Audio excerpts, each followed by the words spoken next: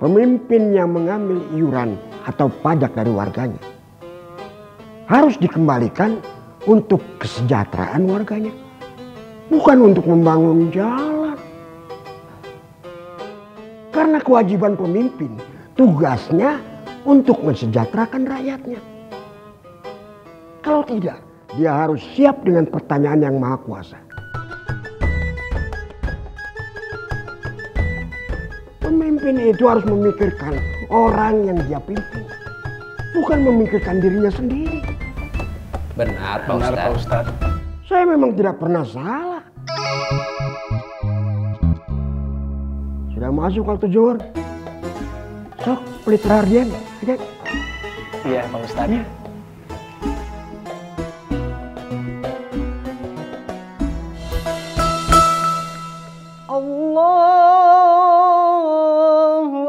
أكبر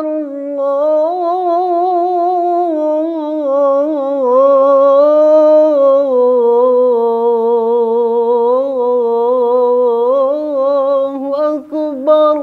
الله أكبر. الله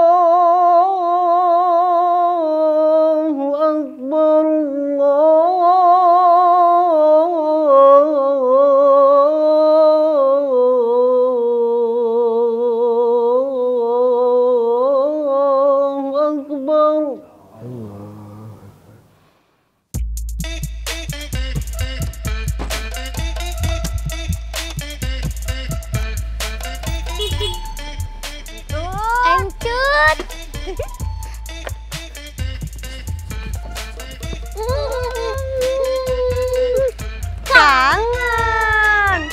Udah lama aku nggak bilang kangen sama kamu. Iya, cucu juga. Kamu mau ke mana, Tut? Aku mau ke rumahnya Tante Kom Judes.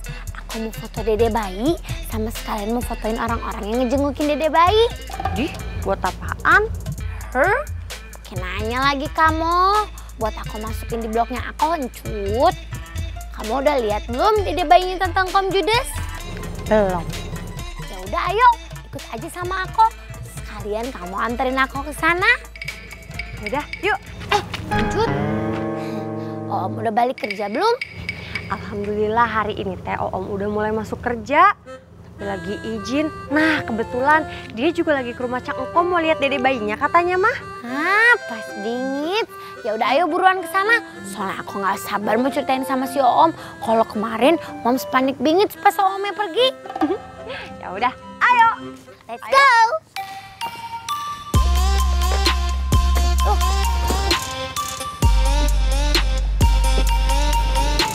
Aduh, Tut. Kenapa udah naik sih kan cucu gue belok di motor. Aku kan takut jatuh, makanya peluk kamu.